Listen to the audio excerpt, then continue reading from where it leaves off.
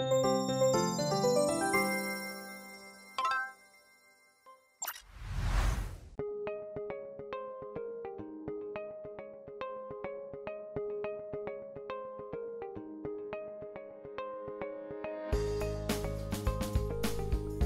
everyone, today we'll go over another Airbnb phone screen interview question.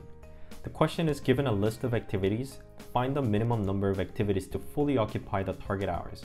You can repeat the same activity more than once. Let's get started. Let's say we have the following activities. Hiking, VR game, and movie. And they take 1 hour, 2 hours, and 3 hours respectively. If our target hours is 3, a single movie activity would give the minimum number of activities. If our target hours is 7, two movies and hiking activities would give the minimum number of activities. Similar story when our target hours is 8. Let's see how we can do this programmatically. One easiest way to do this is to look at all possible combination that adds up to the target hour and see what's the minimum number of activities is. This is the brute force approach. During the actual interview, I started with this, br this brute force approach and actually failed one of their test cases because the algorithm simply took too long to complete. Another approach is to use dynamic programming. We can start by finding the minimum number of activities required to occupy 1 hour, 2 hours, 3 hours, and up to the target hours n. Every time we find the minimum number to occupy x hours, we store the result in this map so we can look it up in constant time. So when we fill everything out, this map will pretty much tells you that for the given hours x, what's the minimum number of activities to perform. Let me illustrate how we can exactly accomplish this. Let's start with one hour as our target. We go through all the given set of activities and see if including any one of them would yield the minimum number in total. The formula to find the minimum number of activities would look something like this. All right, let's start with hiking.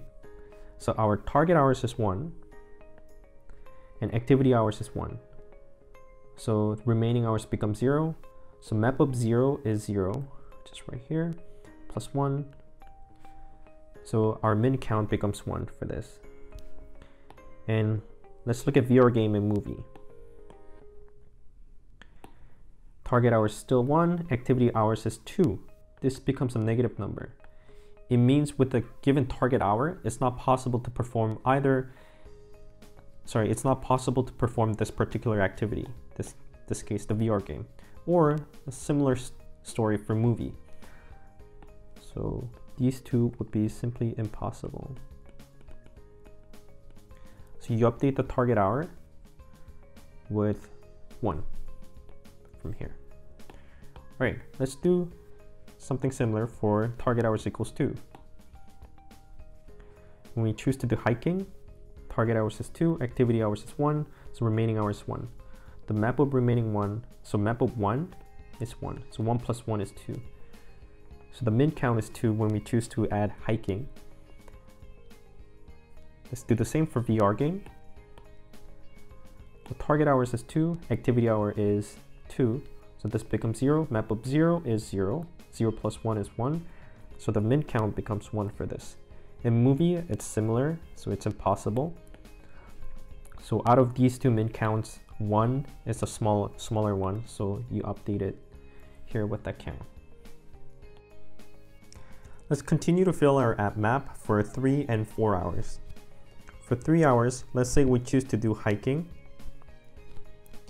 Then our remaining hour, so target hours is 3 in this case, and activity hours is 1, so the remaining hours is 2. So map of 2 is 1, 1 plus 1 is 2. So if we choose to include hiking, then the number of minimum count becomes 2. Let's look at the VR game.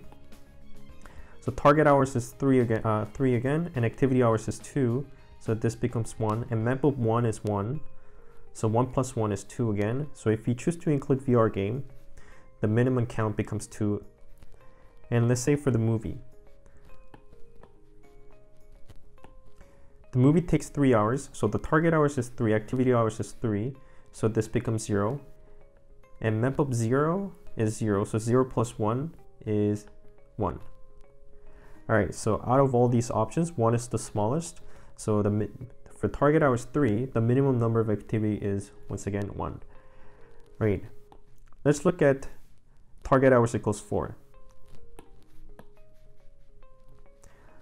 When we choose to do hiking, once again, remain target hours is 4, remaining uh, the activity hours is 1, so the remaining hours is 3.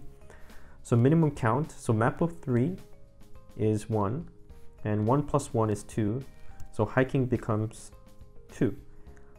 Let's say VR game. VR game is 2 hours. So target hours is 4, activity hours is 2, so this becomes 2. So minimum count, map of 2 is 1. So 1 plus 1 is 2 again. A similar story for the movie, this becomes 2. So these are all the same, so if the target hours equal 4, it will be 2.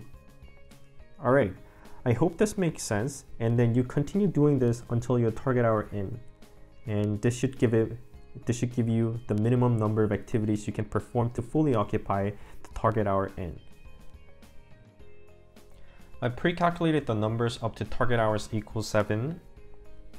As we discussed in our example slide, we can see that the minimum number to occupy the target hour is 3 and 7 matches with the answer we had earlier.